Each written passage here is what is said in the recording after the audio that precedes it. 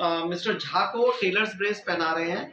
Tailors brace में सबसे पहले हमारी पूरी रीढ़ की हड्डी कवर करनी होती है, इसलिए हम सबसे पहले इनको पेट से बाँध देंगे।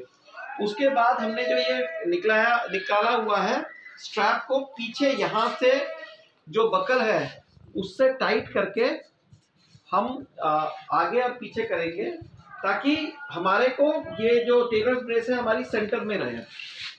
और हम बाहर घुमा करके इस तरफ़ ले आएँगे ताकि यहाँ पे वेलक्रो में टाइट हो जाए।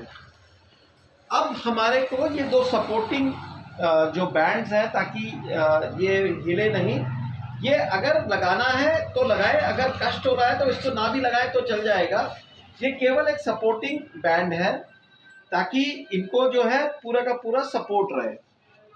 हमारे को हमारे को ये वाले बैंड ज़्यादा टाइट करने की ज़रूरत नहीं है, क्योंकि ये सपोर्टिंग बैंड हैं।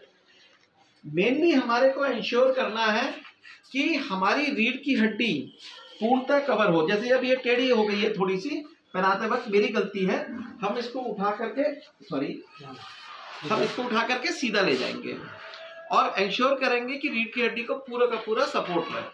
Thank you